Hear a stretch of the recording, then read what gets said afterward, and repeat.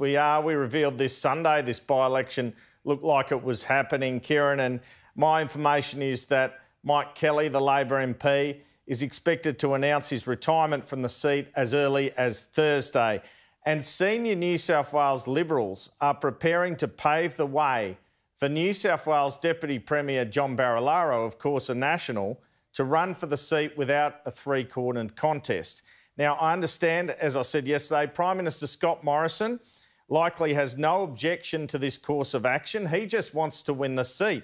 If he does, he'll have three seat majority up from two. That would mean no more concerns about the likes of rebel MPs on single issues crossing the floor, people like Llew O'Brien or George Christensen, and threatening his majority. That issue, of course, has dogged the government since Malcolm Turnbull only won a one seat majority in 2016.